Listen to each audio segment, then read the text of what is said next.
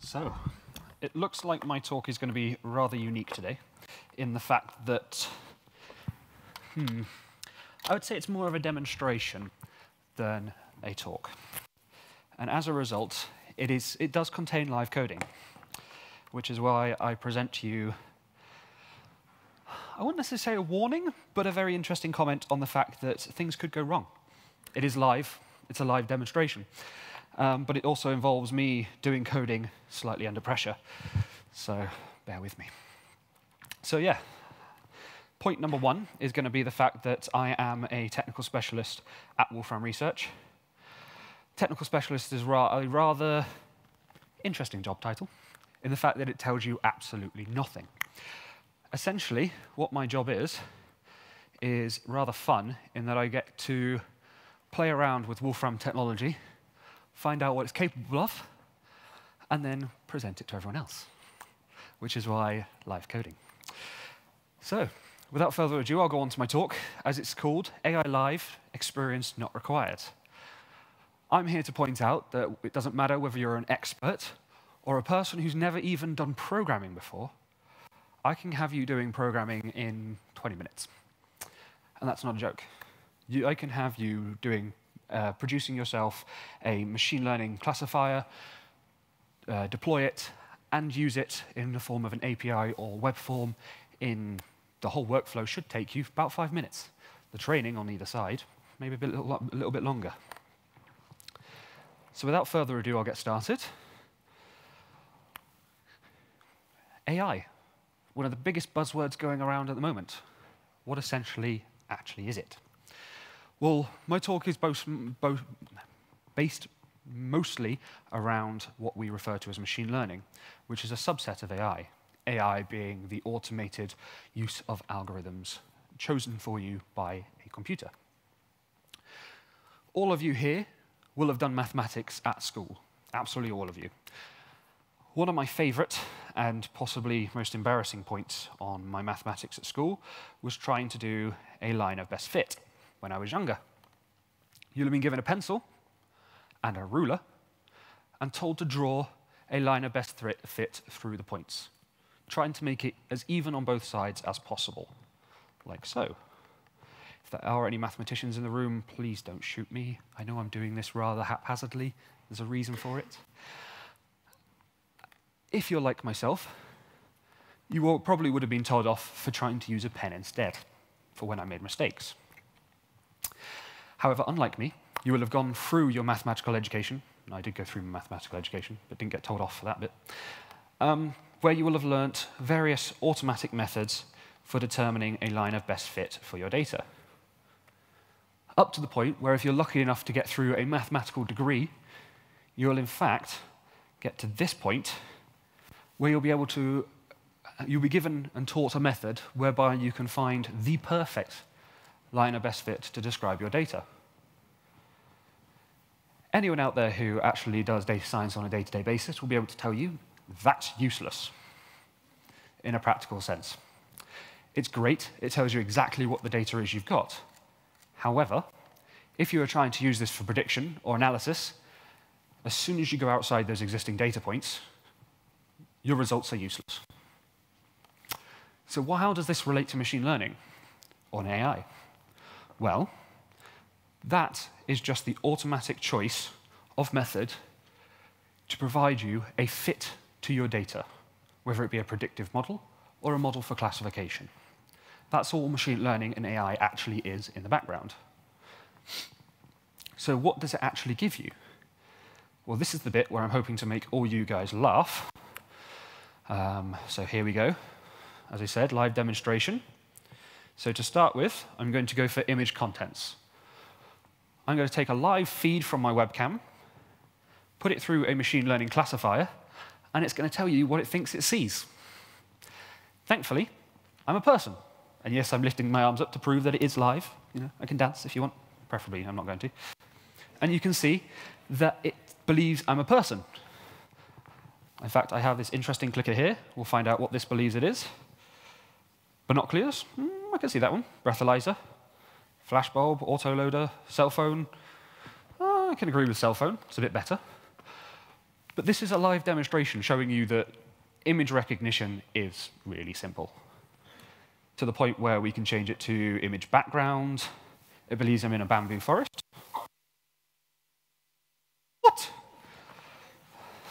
A bit worried about that jail cell one, but we'll come back to that. Movie theater, indoor. I like that one better. It's a bit, a bit better. There we go.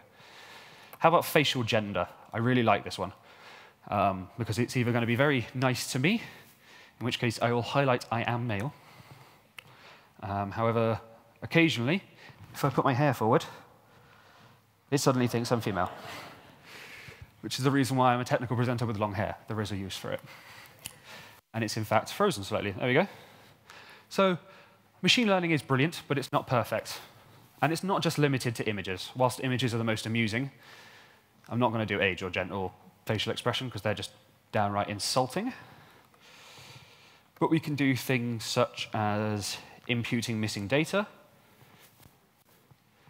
So taking a neural network, providing it with an image, and getting suddenly a colored image of a dog, whereby you can see it's colored in the grass for me, and including the two little flowers hidden in the background that you probably couldn't even see originally. I can quite happily tell you, if you try this with the London Tower Bridge, it actually works really well. In fact, it looks slightly better than the real thing, but I'm not meant to say that. Or, if that's not impressive enough, how about taking that original black and white image, not only giving it color, but providing it with depth? So we're turning a two-dimensional image into kind of a three-dimensional image. Come on, PC. Please don't let me down now. It's thinking. There we go. So we now have a 3D depth-based image of that dog. AI Live. I was kidding. So, I keep boasting that I can teach any of you guys to do this kind of thing without much training. And I'm not kidding. So much so that I'm willing to put my money where my mouth is, so to speak. And now it's not happy with me. Come on. No. Told you it's live. There we go. It went and crashed on me. That's because I was playing around with it earlier. But hey, that's my fault. What I'm about to show you is the fact that whilst I can show you all these cool little funky demonstrations and they all seem to work nicely, he says, I can also show you with one or two simple lines of code so much so that you can actually read them. I can teach you to do things such as supervised learning, which is the kind of thing you do with a child. You show them an apple, they know it's an apple. Or unsupervised learning, where we just throw a load of data at the computer and see what it comes out with. Warning, dog classifier. Because I saw the cat one earlier. So to start with, classification. The identifying of an object or item you have in front of you. Should be nice and simple. Humans do it all the time, therefore training a computer to do it should be just as easy. So I have two examples. The first one is just going to be classifying numbers into categories. Anything higher than number three is class B, anything lower is class A. Rather boring, but provides a point. You'll see that my coding, if you can call it coding, is pretty simple. These are lines of code the first one is me setting up my day training data set. The second one is creating a classifier function and then testing that classifier function on the number 1.2. As I said, if I give it 3, it suddenly changes to B. It's easy to do. But that doesn't really provide you guys with anything to take away, apart from, hey, look, the code's simple. Which is why I have an image example. Because I'm a very visual person myself and prefer to keep things visual as, if possible. Here is a load of images I've taken off my favorite search engine of day and night. You can search this yourself, nice and easy to do. I drag and dropped them into the notebook. No playing around, fancy dancing things to put the information into the notebook, just drag and drop it. Put the arrow in and go day and night. Create a classifier function. There we go. It's doing the automatic AI interesting side of things, where it's choosing a uh, method for me. I'm not having to sit here and specify all the kind of things you normally would be as a have to do as an AI expert. and now I can straight away use it. That took all of three seconds, maybe 15. I've done that live in front of you guys with no magic or no hidden requirements. And already I'm able to classify six day and night images. Can anyone spot the issue? It's deliberate. It has misclassified the second image, the one with the large 0% finance thing advert on the car. It's a dark image. How would you be able to tell if it's day or night if all I've given it is dark images for night and daytime images all have bright blue skies and the sun? If I taught a child that way, they'd make the same mistake. So AI, whilst amazing and absolutely brilliant, will make the same mistakes that humans can do. That's a slide I have left in for um, interest purposes, because I will be providing copies of this talk afterwards, so you can actually go in and play around with the examples, etc. yourself. And this is just a bit of information on the different methods that that classify function could access. These, these few here, these six, nearest neighbors, logistic regression, support vector machine, and you can read the rest, are just some of the ones that the predict function, the classify function I just used in front of you guys may choose to use. In fact, if we go back to it, we can see, by clicking the little plus, that in this case, it chose a logistic regression. That was automated, as I said. I didn't choose that. The system did it for me. It's how you can do AI and machine learning in about five minutes. Doesn't matter how complex it is. This is where I come on to the point of machine learning. Does everybody in this room understand how it works?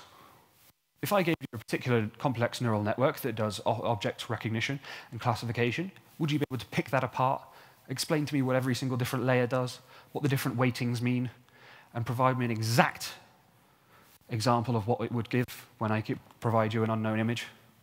No. Let's be honest. No one in this room should be able to do that. Because this kind of stuff is incredibly complex. It's amazing for that reason. So you don't necessarily ask how or why does it work. You just need to know, as users, does it? in which case I can provide you numerous examples of, yes, AI and machine learning work. This one is a classification of irises, a particular type of flower. They come in three particular varieties, Setosa, versicolor, and virginica. This is a very, a very simple numerical um, example. One thing to remember with machine learning, if you provide it an example it's seen before, it will cheat, it knows the answer. So what I have to do is split the training data up, 100 examples, retrieve the other sets of data as my training, as my test data, check they don't intersect, they're completely separate, and then set up my classification. This is where, once my classifier is created, I can test all 148 additional examples in just a few seconds to provide you guys with statistics on just how accurate, in this case, sorry, it's only 50 examples, on just how accurate that neural network has, on that, that uh, classifier function has been. There's the accuracy, 0.96 or 96%. I can give you a confusion matrix plot so you can understand which ones it got wrong. In this case, I'm aware that's a bit small. Or if you wish, I can show you what the best classified examples are, or even all the properties you can query for that classify function. So I can imagine some of you guys in this audience are much better experts than me. That kind of information, being able to provide it to you automatically, really quickly, will mean that you can, you can prove to me, or I can prove to you, that yes, this machine learning works. So I've shown you some fun examples so far proved to you that you could do it in a few seconds, and shown you that if you're an expert or you just want to know if everything works, you can find out again in moments. You can do the same thing with prediction. We're not just limited to classifying anymore. If you want to set up a series of data and create a predictor on that, you can do. Again, takes a few seconds. In fact, that was four seconds apparently. I don't believe it I've got a bit of GPU acceleration going on in here. That's why the computer looks so space age. But then I can use that predictor function straight away. I can guarantee you now I could sit there with that predictor function for ages, typing in numbers, and I'd never understand what it's doing. However, I can query it for a distribution to find out what that prediction looks like. In this case, it's a normal distribution with those parameters. Or, better yet, I can plot it and show you exactly what that predictor will give you. Because I'm a visual person, I love seeing actual outputs. Or, I could show you this on a real-world example. At the moment, bit of personal history, I am trying to buy a house. It's interesting and difficult. Worth it. Here I have a series of information on Boston, because our main office is over in America. Simple as. We have an example data, which I'm just going to quickly pull, just to show you that it's a series of numbers that each represent these kind of statistics. Apparently, these are, these are factors in Boston that seriously affect house price.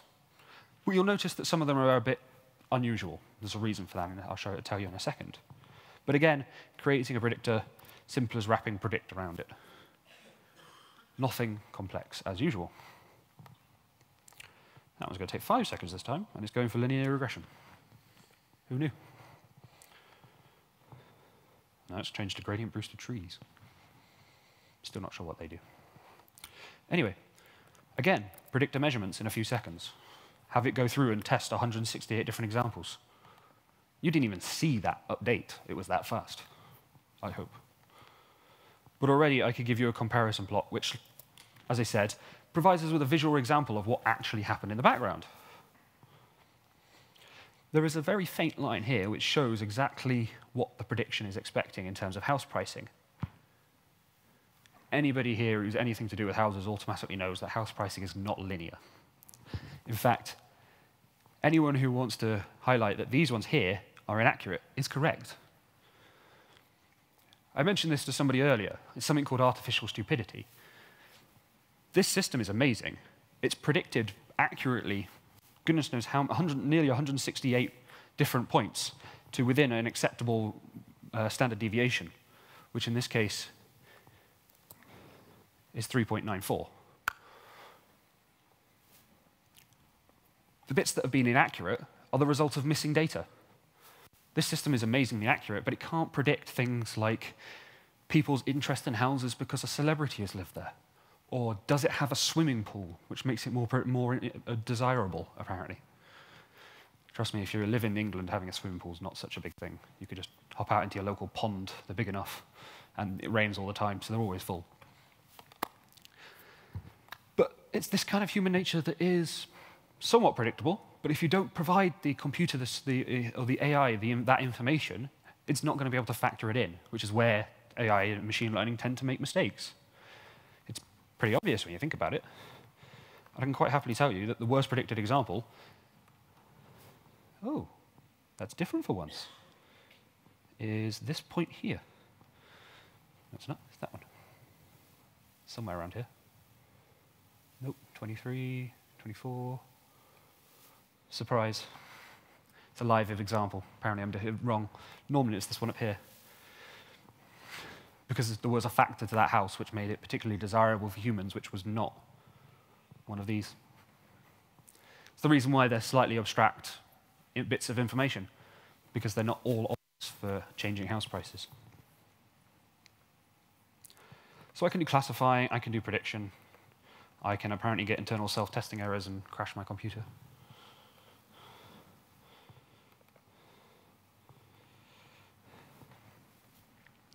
But these aren't, again, this is not what we're limited to. You can do unsupervised learning as well, which is where some amazing stuff comes in. If you ever hear machine learning and AI being referred to as magic, as experts, you all believe that to be false, and it is true. It's not actually magic, it's just unbelievable. To, the, to the, such a case that the average user has no idea what the machine learning is actually capable of. Come on, leave it to load for a second. The reason I mention this is because I can provide a, this PC live in front of you guys, a series of th three sets of dog images. And without telling the system anything about those images, I can actually get it to group them up into the different breeds automatically. And should this continue, I will be able to show you.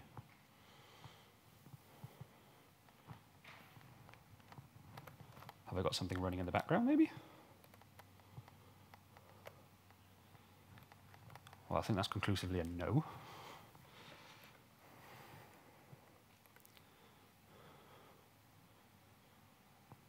Please. No. Okay, I'll try an older version. I did warn you it was live coding, so anything can happen. In fact, one time I spent five minutes being insulted by my PC because it was telling me I was 43. Not that that's relevant now. It's the reason why I skipped over the age of demonstration at the beginning. Uh, so yeah, whilst these things are impressive, they can be very um, offensive if given incorrect information.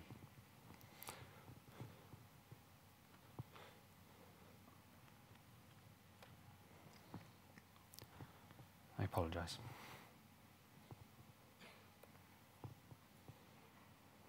Here we go. This one's slightly faster.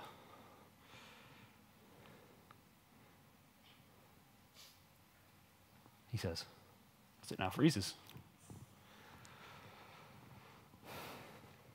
You've got to love live demonstrations. Sometimes they can go perfectly, sometimes they can go wrong. And considering I'm doing machine learning on this PC, as opposed to doing anything cloud-based or anything like that, it means that if any of the hardware is running slightly hot, suddenly I have problems. Here we go. We're running hot again. Come on. All right. So before I go on to the dogs, I'm going to quickly show you some sequence prediction. Predicting what a person can do can sometimes be particularly easy. Quick demonstration. I step forwards, I step forwards. What am I going to do? Step forwards. Three steps forward. It's pr pretty easy to predict that because you can see what I'm going to do.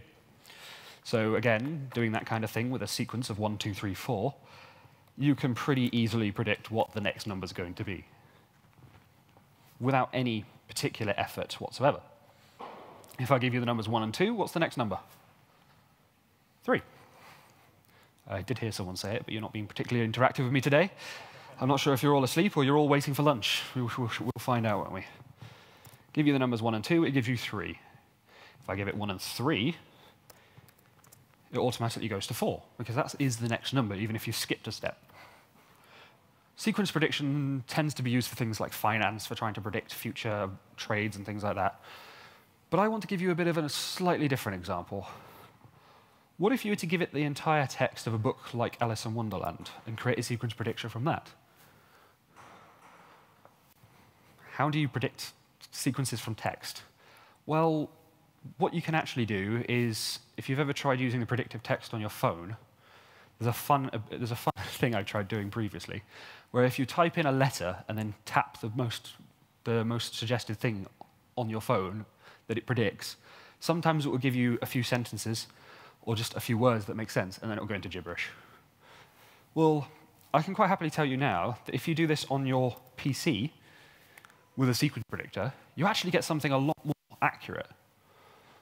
So here is the system's prediction of what would come next after I give it the words Alice was thinking. Alex was thinking of. That's English, it makes sense. Alice was thinking I. Or maybe she thinks I'm an idiot. I am stood up in front of you guys trying to entertain you at the same time as show you coding.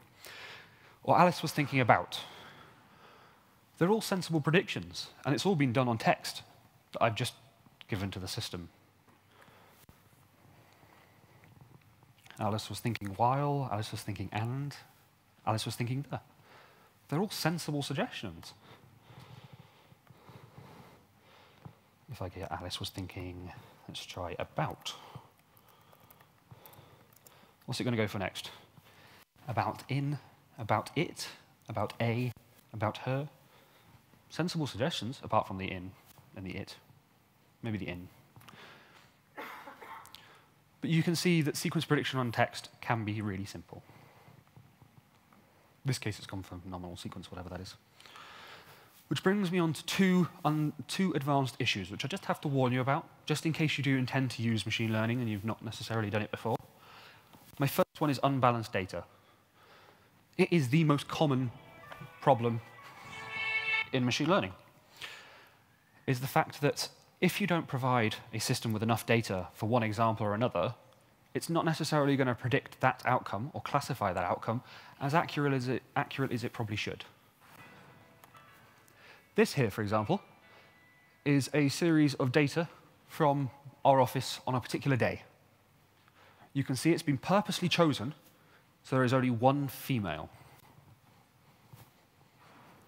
So what happens if I predict, if I ask that classify function the exact, exact height of that female? It should classify them as female because that's the only example it has. I told you, if you show something, if you show the system something it's seen before, it knows the correct answer, right? In this case, not so much. No matter what I try, that is the probability of ever being classified female in our office on that particular day. It never goes above 0.40%, uh, which means that the classifier will never predict you as female. Apologies, ladies.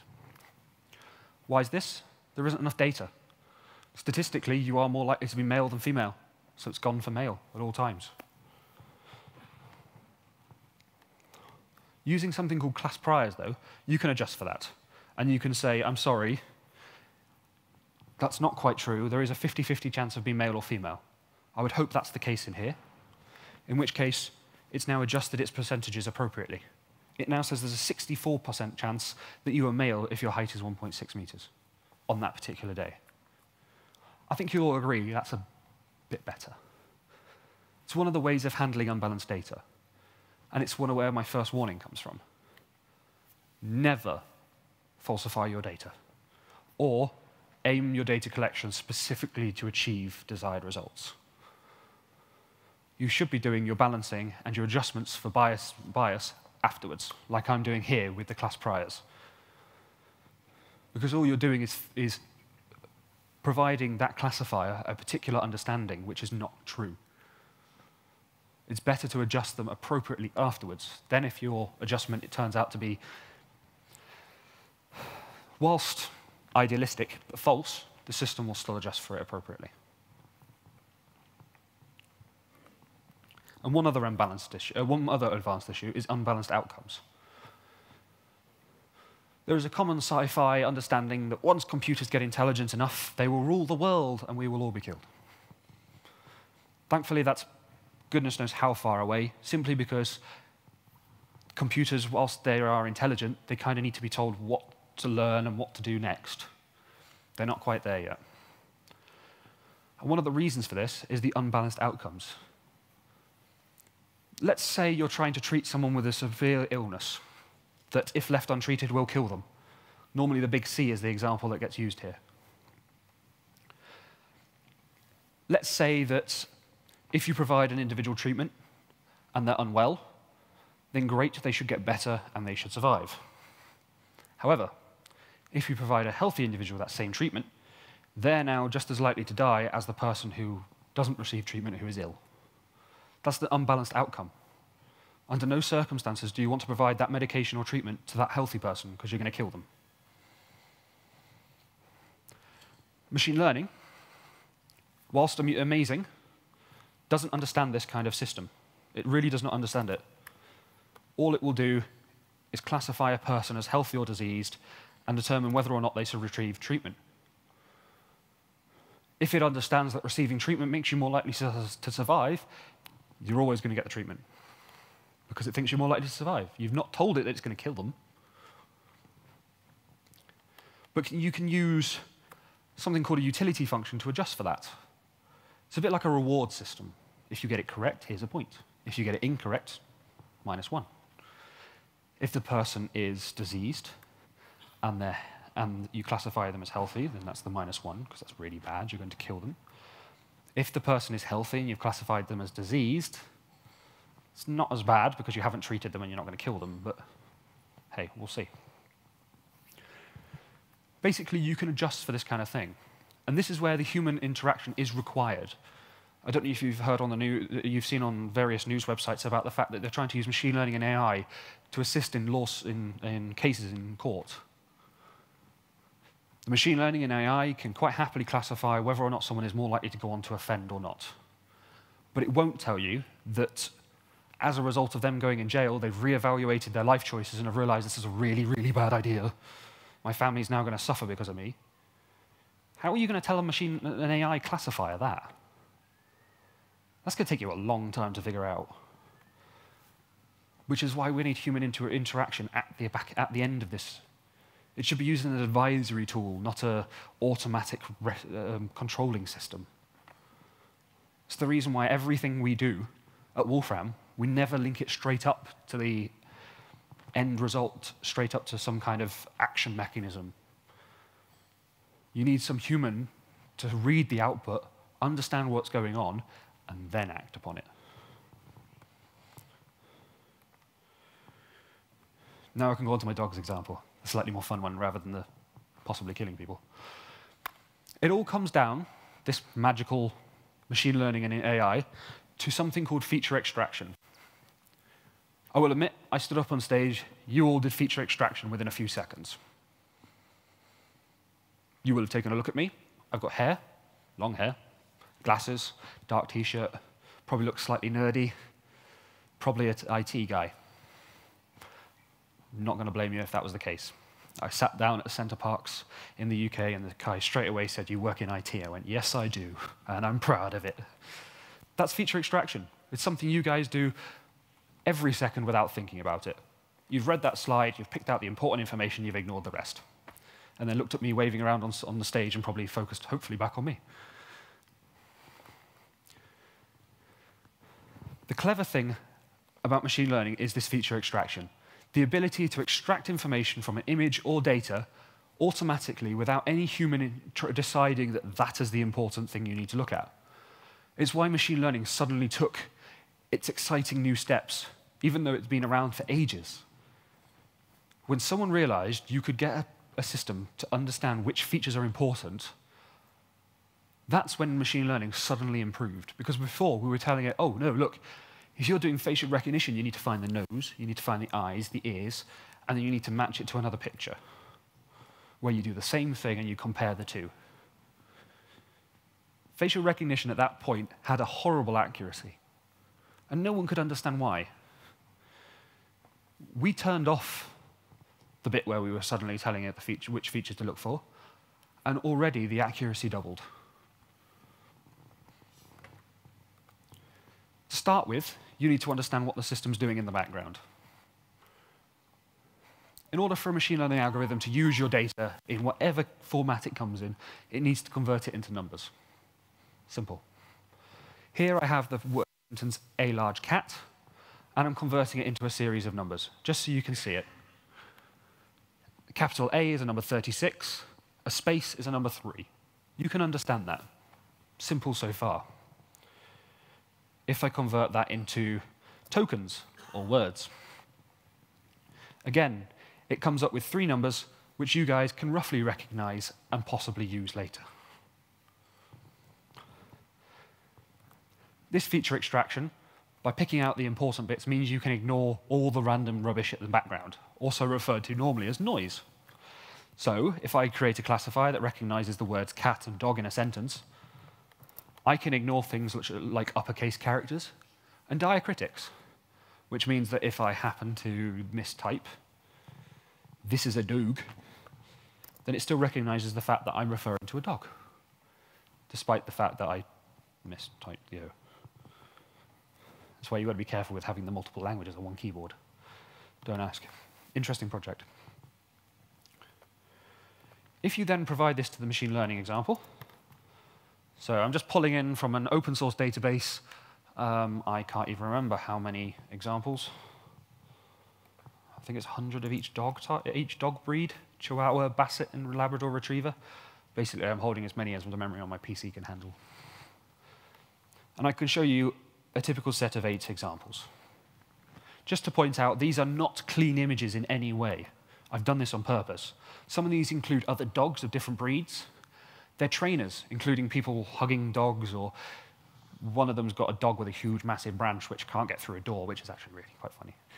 Um, anyway, the idea is the images aren't clean, because in reality, when you start trying to classify dogs, the image is never going to be clean, really. Let's be honest with you. But this one's got a teddy in it. This one's not even looking in the right direction. And I've no idea what he's doing. But when I turn that same feature extraction capability onto those dog images, what you'll find out is that it gives me a series of numbers which mean absolutely nothing to me. This is what I was referring to when we turned off the which, which features do you actually need to look for. In fact, that's taking a long time to download the neural network required. Well, the rest of my example runs on that, so I'm going to have to wait now. But the idea is that it does, it does translate that simple picture into a series of 49 different numbers. I have no idea what those numbers represent. They could be how circular the nose is, they could be how wet the tongue is, how curvy the ears are. But those are just things that I think it might be looking for from my understanding. The feature extraction is so complex, as I said, we've turned off telling it which one to look for, that it is amazing by doing this all on its own. It can ignore the human cuddling the dog or the random chihuahua sat next to the Labrador or whatever. This is why it's absolutely incredible, and also why my example hinges on this. Yep, i have to wait for that one. The idea I'm trying to show you is, as I said earlier, I'm going to feed in all the images of the dogs, and using something called feature distance, which is just how close are these two images in the feature space of those 49 different measurements, you can actually get it to automatically cluster the dogs, groups of dogs together by breed without you having to tell it anything. There we go. There's the vector that represents the dog, this particular dog. If anybody at any point can take this example, take it home, and figure out what all those numbers represent, please let me know, because you're amazing and probably one in a million. So that would be incredible. Or I can just show you feature distance, whereby I can provide it with two different images of dogs, and it can tell you how far apart they are. So these two dogs are closely, more closely related than these two. I know, by looking at the images, you can do that yourself in seconds. but remember, we're trying to go on about AI here. So, without further ado, I'll provide it all those images of the dogs, hands off, I'm not doing anything. You can just see feature space plot of those images. And it will provide you a diagram showing you the clustering of those dog breeds without me telling it anything. It does not understand anything apart from the fact they're images, okay? I haven't told it they're dogs, I haven't told it the image size, or anything else. Here we have the dark la colored Labradors together. Light colored Labradors, including one with a Ah, that's clever. Sorry, I've not seen that before. Um, there's one here with a light-coloured Labrador and a Basset Hound, and funny enough, that's probably the reason why all the Basset Hounds are down here. Because it's seen one in the image, and it's classified them all together. They're all Basset Hounds, absolutely all of them, including that hidden one there. All your light-coloured Labradors are up here, next to your Chihuahuas, which are also light-coloured, including the one with a scarf. That's kind of cute. I've provided a system a load of images and it's clustered them for me. Try doing that with images on, uh, from social, with data from social media, and suddenly it will show you how certain groups of people cluster together naturally and how they share their information. Or maybe try doing it with customer data, and it will show you how certain products are related to certain customers just by putting in the name of the details of the product alongside the customer data. These are things I've actually done as part of my job, and you can get some surprising information out of just automatic clustering like this. I've done very little work already, but it took me a few seconds at most after the internet had downloaded the thing.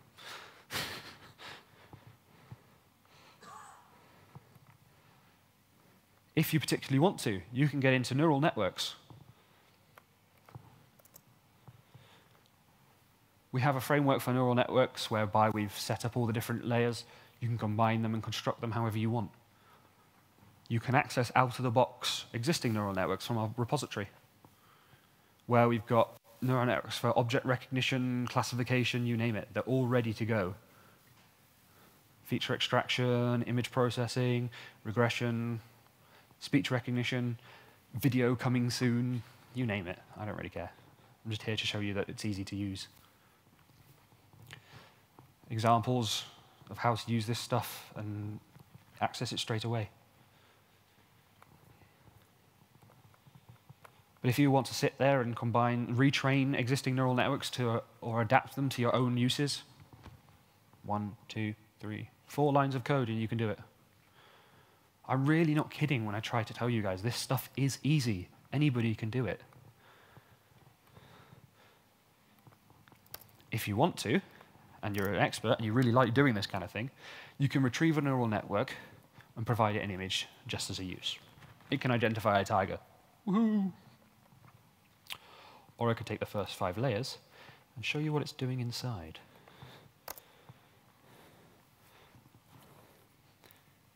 At layer five, that's what the neural network is doing. Any ideas? Anyone understand that?